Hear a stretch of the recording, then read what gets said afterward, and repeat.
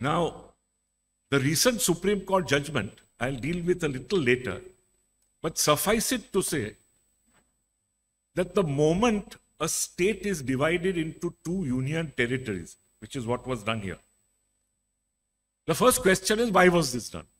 What was the need? Because you had already had president's rule in the state. You were administering it from the center. So why did you need this? You needed this because you wished to bypass a very, very important article in Article 356, sub Article 5. Now, 356 essentially deals with circumstances in which there is a constitutional breakdown in a state and the center takes over. But then it is hedged with conditions. One of the most important conditions being as to time. In no circumstance can it go beyond one year. This is very important to remember. In no circumstance, except two, which is given in 356.5. And neither of them obtain. First circumstance is that you should have a national emergency. And the second circumstance is that the election commission should say that elections are not possible in that state neither of which obtain. So, how do you bypass this? You bypass it by this ingenious method of making the state union territories, where you have direct central control and no problem as to time.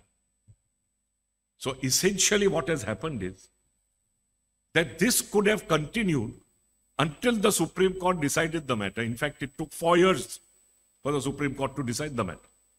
It was in 2019 that the state was declared as two union territories. The decision has just come.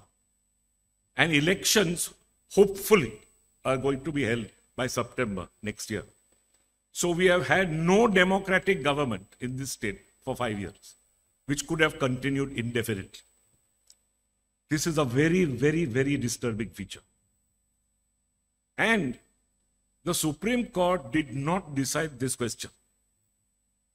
Now, it didn't decide the question because it said, we accept the assurance of the Solicitor General of India that statehood will follow very shortly and that elections will be held.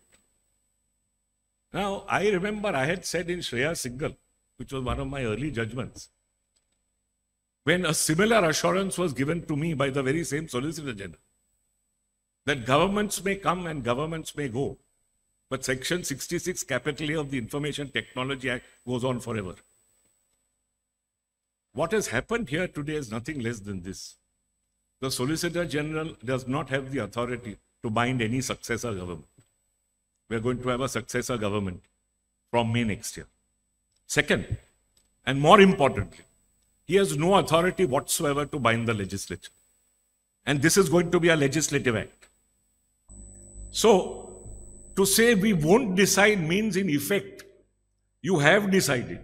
You have allowed this unconstitutional act to go forward for an indefinite period of time and you have skirted Article 356.5. These are all very disturbing things.